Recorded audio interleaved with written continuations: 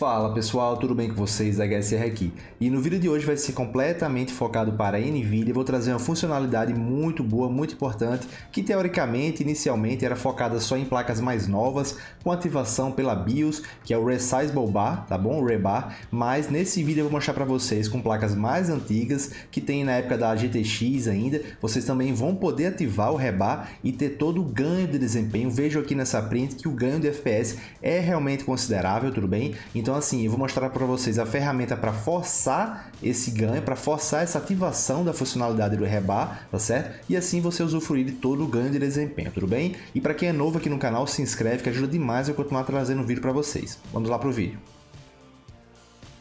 Então, pessoal, a primeira coisa que vocês vão fazer aqui, vocês vão entrar no seu browser, tá? Esse link vai estar na descrição aqui do, desse vídeo, não se preocupe, tudo bem? Vocês vão entrar aqui no, como eu sempre costumo trazer, o GitHub, que é onde está todos os documentos de ferramentas que são feitas por, digamos, a comunidade gamer, realmente. E essa ferramenta aqui se chama NVIDIA Profile Inspector. São configurações avançadas da NVIDIA, são configurações que você não vai encontrar no seu painel da NVIDIA, nem com atualizações da NVIDIA. São realmente configurações mais avançadas que os criadores do, dos painéis, os programas de NVIDIA não irão botar nunca, provavelmente, né? Eu acho que não, porque são realmente configurações avançadas que eu só aconselho que você ative realmente se você souber o que está fazendo. Eu tenho um vídeo aqui no canal especificamente sobre o NVIDIA Profile Inspector, vou colocar aqui em cima, tá? Mas para esse vídeo de hoje, o foco realmente é o Resizable Bar em placas mais antigas, placas mais novas, porque assim, eu vi um comparativo, pode ouvir aqui agora, que assim, mesmo que você ative o Resizable Bar na BIOS, tá? Que é o mais aconselhado, é o mais comum, não fica tão bom como você forçando a ativação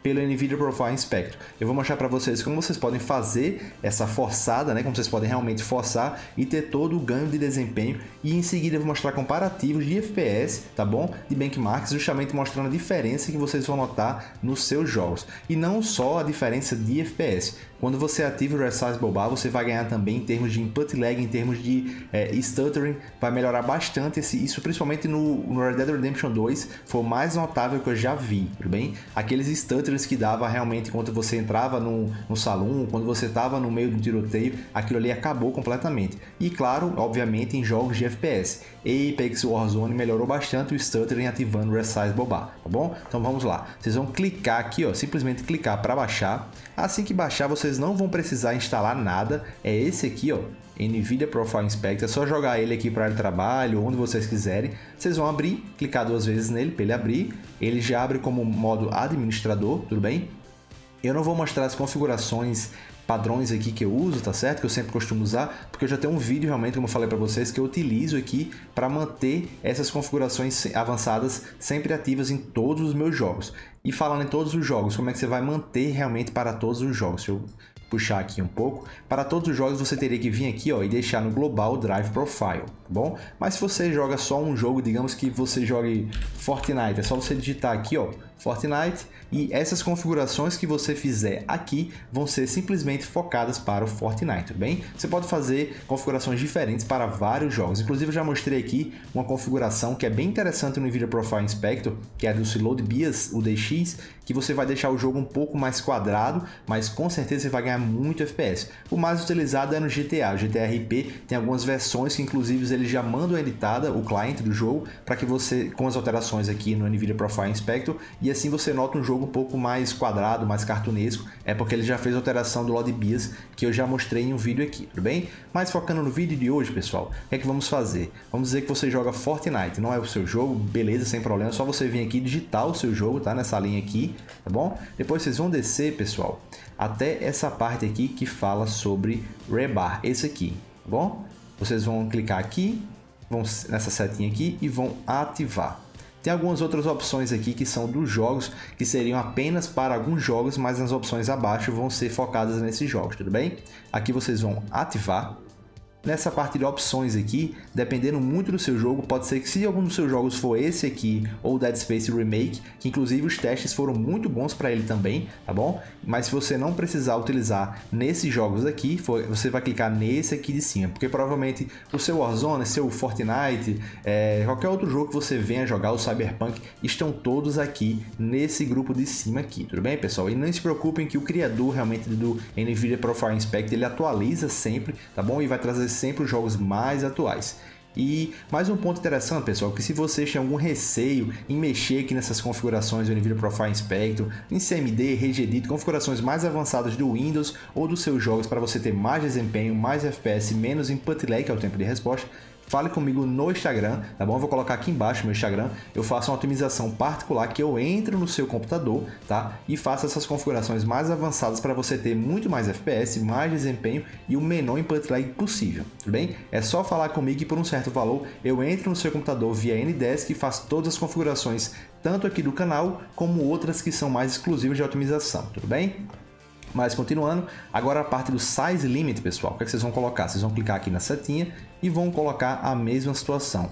Esse primeiro ponto aqui, que ele vai englobar, na verdade, né, englobar todos os jogos atuais, certo? Seja o Warzone, seja GTA RP, o GTA, o GTA RP, todos os jogos atuais realmente vão estar nesse ponto aqui, tá bom, pessoal? Essas três opções são as que realmente interessam para que o Resize Bobar fique ativado. Eu sei que eu já mostrei aqui no canal sobre isso aqui, ó, que é na BIOS. Vocês podem ver, se nesse caso aqui é um exemplo da ASUS, tá? Vocês podem ativar pela BIOS o Resize Bobar. É bem simples também, mas para você não precisar ir na BIOS, para você fazer tudo aqui pelo Windows com um simples programa que vai ajudar bastante no seu desempenho, é só ativar isso aqui, tá? Lembrando que se o seu jogo não estiver listado aqui, se não me engano, o Warzone ele não está listado, justamente. Então é só você deixar aqui, ó, sem marcar nada, deixar no global, tá? Vim aqui do mesmo jeito, ó, ativar aqui, tá bom? Tô mostrando a vocês no global, que serve para todos os jogos, certo? Não é focado em um jogo específico.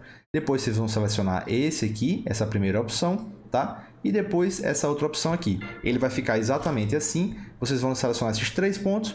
Depois é só clicar aqui, ó, pessoal, fechar um pouco mais no Apply Changes, tá? Clicou no Apply Changes, ele vai fazer todas as modificações, ele não vai alterar nada no seu painel NVIDIA, que são realmente configurações que não têm relação com seu painel NVIDIA, é da NVIDIA, claro, mas não tem relação com o painel, tem relação com a sua placa-mãe, tá? Com a sua placa de vídeo, só a versão dela, mas não alterações no painel, e com seu CPU. Então, mesmo que você acha que seu CPU, que sua placa de vídeo, sua placa-mãe não iria é, aguentar realmente o Sizable Bar, porque você tem, digamos, uma 1050 com um 7700K, por exemplo, da Intel. Mesmo assim, mesmo sendo um computador um pouco mais antigo, antigo, você pode ativar e fazer os seus testes, testar realmente nos seus jogos, tá certo? Depois disso é só fechar, reiniciar o PC e fazer os testes nos seus jogos. Eu vou mostrar para vocês agora, pessoal, alguns benchmarks, alguns comparativos realmente de FPS vocês vejam que realmente ele é muito forte, ele melhora a questão do FPS, ele melhora a questão das travadas, que são os stutterings, ele melhora a sensação de fluidez na maioria dos seus jogos. Então eu aconselho bastante que vocês façam todos os passos que eu mostrei aqui, tá bom? Façam os seus testes nos seus jogos e em seguida coloquem aqui nos comentários o que, é que vocês acharam dessa modificação, dessa realmente dessa funcionalidade que a Nvidia tem que veio só para ajudar a gente que joga, tudo bem? É isso aí, pessoal. Eu já utilizava há algum tempo o Resize Bobar e, na minha opinião, ele é fortíssimo. Ele melhora a fluidez nos seus jogos, deixa aquela impressão de que o seu jogo está mais solto, mais leve. Além de, claro, aumentar o FPS, vocês viram alguns comparativos que ele realmente aumenta o FPS, deixa com mais fluidez, deixa sem stuttering. Então, assim, você só tem a ganhar em tentar. Você acha que talvez por ter uma placa muito antiga pode ser que não se adapte ao Resize Bobar? Não tem problema. Simplesmente forcem com o NVIDIA Profile Inspector e façam o teste você mesmo, beleza? Beleza? Espero que tenham gostado, pessoal, que realmente melhora o FPS nos seus jogos. Se gostaram, deixa aquele like, comenta aqui no vídeo. E você é novo por aqui, também deixa o like e se inscreve aqui no canal, que ajuda muito que eu estou trazendo vídeo para vocês, beleza? E até os próximos vídeos. Valeu, pessoal!